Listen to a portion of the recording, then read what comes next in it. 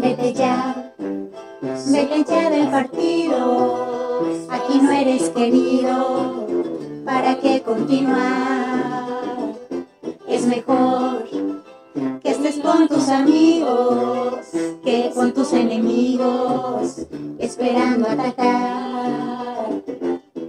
Vete si votaste todo en contra, si a Morena traicionaste y solo nos causaste daño. Vete si criticas a dos bocas, el Maya y el AIFE y solo estás por el salario. Nadie justifica en esta vida que te fuiste a marchar con la oposición, solo el Facebook. Vete ya.